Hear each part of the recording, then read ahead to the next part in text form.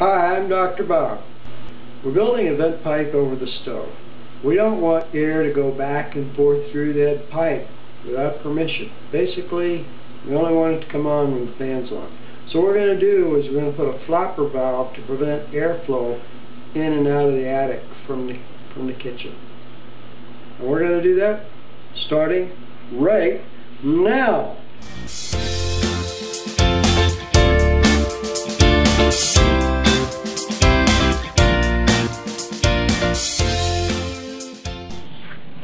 Alright, well I thought that I was going to stick that cabinet in there, but uh, then I realized that I need to do this part first. Um, because once I get the cabinet in, I'm not going to be able to put this in or take it out. What I want is a flap in here that, I want to say, mostly blocks air from coming in and out without being pushed up by the fan. Uh, made this long ways like this. Going to push it down. I really should be wearing gloves because this is really sharp.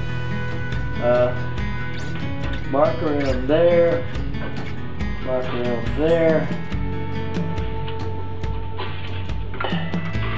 So what I've done is I've taken my marker and I've made an outline of where this is going to go. And the only thing I need to do is mark here because this is going to have a shape to it in here so that these guys match up.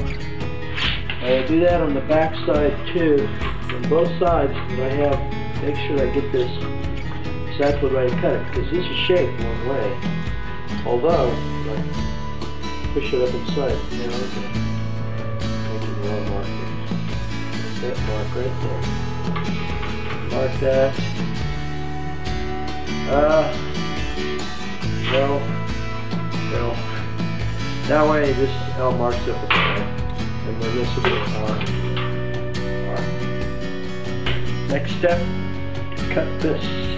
Um, cutting a curve with uh, usually tricky at best.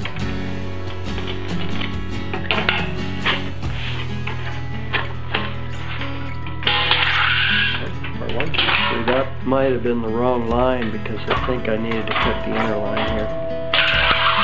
Yeah, because the inner line was the one that goes inside. It's going to be too big. The outer line was the one I cut by accident. Now, as I said, this is not to block all the air or make it perfectly, but it's just, a, it's a big hole up there, and if you don't put something there, air will blow through it and uh, it'll depend on the internal external pressures. Since this piece here will set inside there and it'll act as a flap. So the thing that I've got to do is get it at an angle where it will so I, I need a, an axle or something so I can move back and forth like that, flip up and down. Okay. Alright, so here's here's what I've done. Um, I put this basically back in here and realigned it and put that back up inside there and I said, well, I marked where the uh, top of the line is because I marked right here. And then I said, I know that this thing has to go in about a couple of inches, so I marked there and I said, let's put the axle right there. So there'll be a flipper right there that keeps air from dropping through. Okay, so I need to drill a hole for a stopper screw for the flap. What that little stopper screw is going to do is it's going to, when the flap inside there comes down, this keeps it from falling all the way down and getting stuck up against it because it can lock inside there. So this little screw here, what you're going to see is that this is a machine screw and uh, the important thing to notice about the machine screw is that it has this little cut on the end of it so that when it when you put it into a piece of metal that's just got a drill hole there, it'll it'll it's self-tapping. That's what it's called. It's a self-tapping screw. Now the question at this point, I need to drill a hole for this. And the next question is how how um, what size drill to use. So what I'm going to do is I'm going to assume that the hole needs to be no smaller than uh, the dimensions inside these threads. So I'm going to go inside these threads. I've got my vernier caliper. And this says 0.126. So I'm going to look for a drill here that is 0.126 or smaller. It looks like we're going to be using this one. Okay. So this one is about 0.108. Um, a little bit under, about uh, um, 15 thousandths under what we want. All right, the other part is that I have this, um, I have this, I need to, I need an axle for the thing to roll on. And I found this little, an old welding rod, looks to be made of brass. Um, it's got a little bit of corrosion on it, but uh, could wipe it up and turn it. And the other thing I need to do is have holes for this to go through. So, and they don't have to be anything more than just a little hole. So this this will work just fine. I think this little brass thing is 0.95. So actually, this one should work for both holes, both sets of holes. Okay, so I want this thing to close and open at the slightest bit of air. It has to be heavy enough that it'll drop, but just the slightest bit of air pressure should tip it up. So here's what's going to happen. This is the screw that's going to be the stopper. It's going to stop at the screw inside. But I need it to It to be balanced perfectly so that it's going to fall in that. Now balanced properly, it's going to fall down and land on that screw. And so it needs just a little bit of air pressure. So basically a little bit of air pressure will push this thing open. Just a tiny little bit. Going to do now is I'm going to mark those spots where the axle needs to be. Now notice I'm balancing this thing, but it needs to fall. Make sure it falls. This is where this is going to be. Okay, so that's where the axle is going to go through. Okay, now notice, I decided to drill a couple of holes in here. If this doesn't work, I can always go to the tape thing.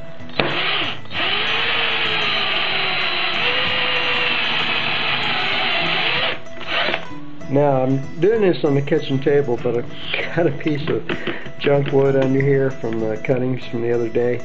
Um, there's no way, because if I did this on my table, I would have a hole right there right now. So I'm doing this on top of this little piece of junk wood.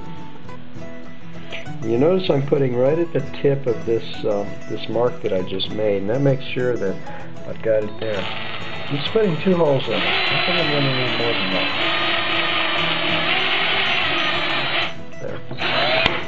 We're through. I guarantee you, try to drill a hole through one of these pieces of steel, you're going to go through whatever's underneath it, or go into whatever's underneath it. So now the next step is, I think it's going to be to grab a, now this will go, this will go in here, but we need to bend these guys a little bit so that it'll accept this and, and take it across that way. Grab a needle nose pliers. Okay, so I've got some needle nose pliers. What I'm going to do is I'm going to put a little bend here. Just going to try and bend this down a little bit. I'm also going to go this way on that. I'm going to get the pliers inside here and bend that up. So we're going to deform the plate just a little bit. Alright, so that kind of sort of goes that way. do the same thing on this side right here. Little bend.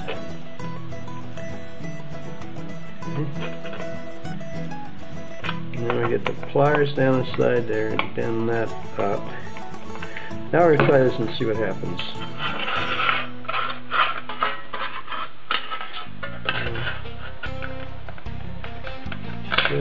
Okay.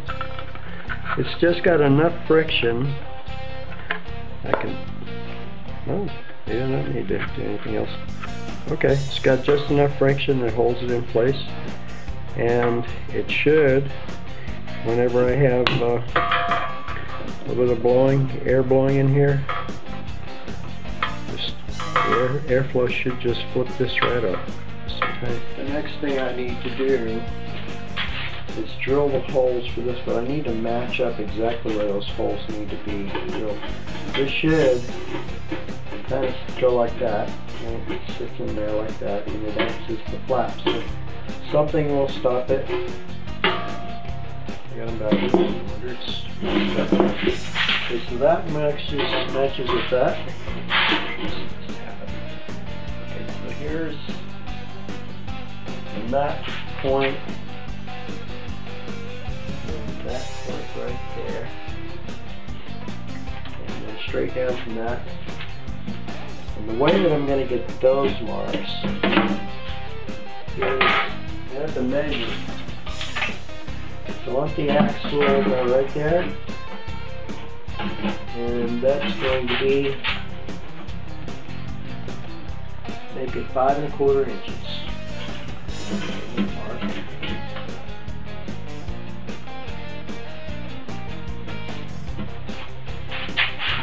Gotta make sure it's straight too.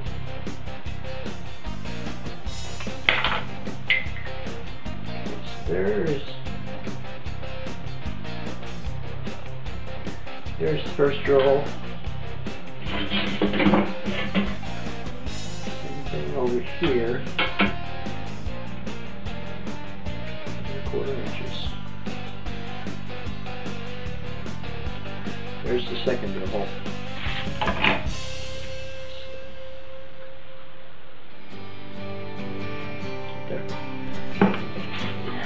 putting a glove on to hold this thing. I'm putting a little pressure on it, make sure not to get my fingers under there because it will go through your fingers.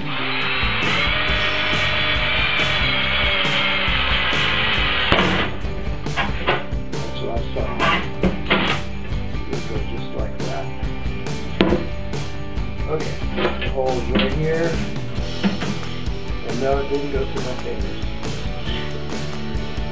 Kept my fingers this. Like that.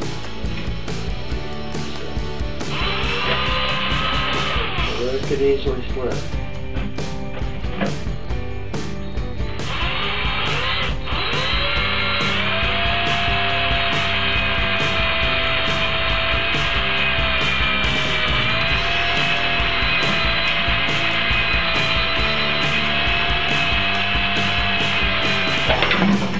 The way to do this I can think of. Right on top of that and go.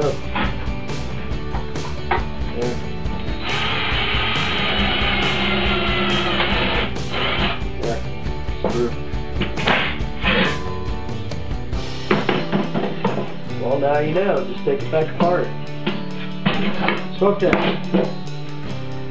The, uh, you're gonna put it in here inside the switch and this is the top, so it goes this way. This is the arm, so it goes that way. So let's go ahead and see what happens.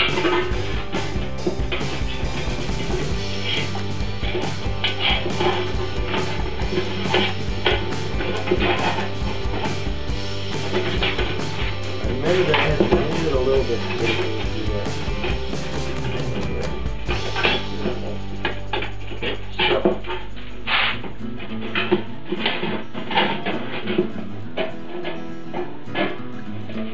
Well, kind of sort of works. Let's try it out. See what happens. Doesn't work. I do this. Uh, do something else. I know what you're thinking. You're saying, "How are we going to test this out, Dr. Bob?" Well, this is how we're going to set it on top of the, uh, the vent hood or the vent pit. Vent hood. Down for a second. And get locked around this guy right here into the shape that it's eventually going to take.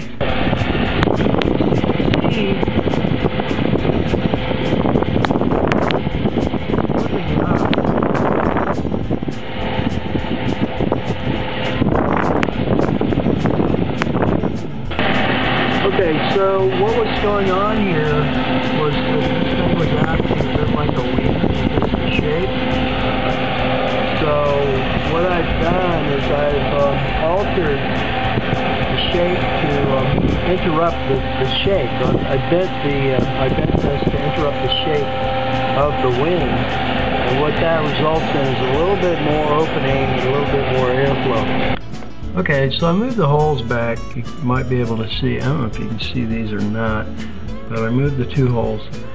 One right there. It's probably too dark to see. Maybe it isn't. But I moved these back a little bit and it works a lot better. You can see that it, uh, if you turn the fan on, it just pops straight up except that it cups all the way back. And it even works on low. Maybe a little bit more pressure. As I get a little bit more fan, it blows up right. So it works very nicely with one tiny little problem. Okay, now when I shut off, it's stuck there. so what I'll need to do is put a stopper screw right there to keep it. And right now I don't see it having any problem popping back up. I mean, uh, I don't know if I need a second stopper screw over here or not, but it won't hurt. But definitely need one there to keep it from flipping all the way over because once it flips over, gravity kicks in and I don't need that. It's open, stuck open. So we'll put the stopper screw in. That's it. Okay, as you can see, put the stopper screw in and its purpose is to keep this from going up too high. And does it work? Of course it does.